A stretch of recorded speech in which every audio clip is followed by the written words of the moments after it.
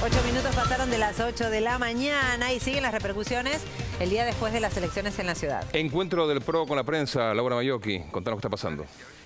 Tal como lo habíamos anunciado hace cinco minutos, ya están sentados aquí Mauricio Macri, Horacio Enrique Larreta, Santilli, parte del gabinete del gobierno de la ciudad de Buenos Aires, eh, a horas nada más eh, del escrutinio de la jornada de ayer en la ciudad.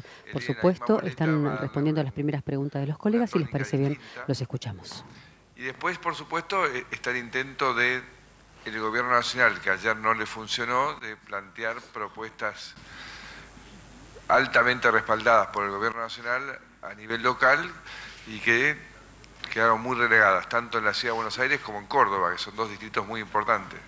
No así en La Rioja, donde el, PJ gana desde el 73, lo cual no, no fue una novedad. Julio Martínez hizo una gran elección, pero no le alcanzó. Y en La Pampa pasó lo mismo.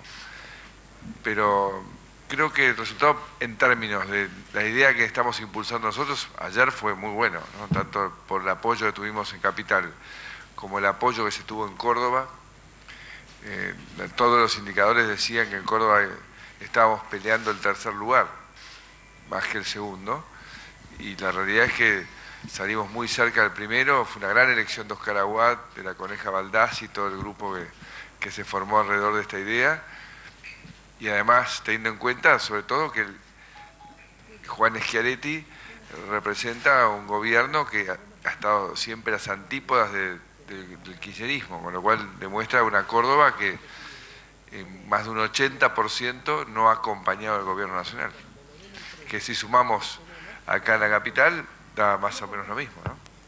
Perdón, tengo, tengo la respuesta, me acercaron la respuesta a tu pregunta. Estaba previsto originalmente por, el, por, el, Tribunal Superior, que es la autoridad electoral, cerrar el escrutinio en el 92%. Como venía muy rápido y venía funcionando muy bien, se pidió, se le pidió, creo que nosotros seguro, y no sé si algún otro partido, que sigan con el escrutinio y llegaron a casi el 99%, con lo cual estaba previsto originalmente. Escuchábamos parte entonces de esta rueda de prensa que se da ahora por parte del PRO analizando los resultados del día de hoy.